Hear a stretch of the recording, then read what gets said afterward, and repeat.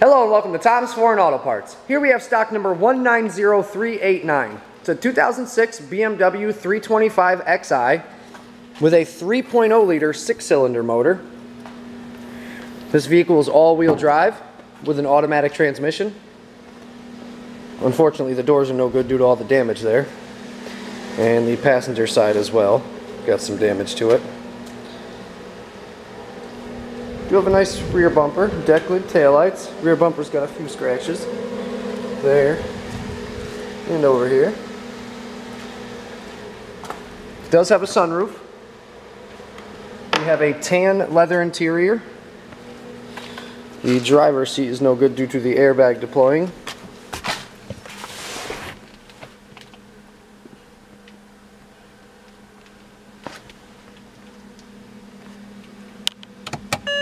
Vehicle currently has 200 200,574 miles on the motor. Unfortunately, the radio display is no good due to the screen not working there. You have a nice temp control.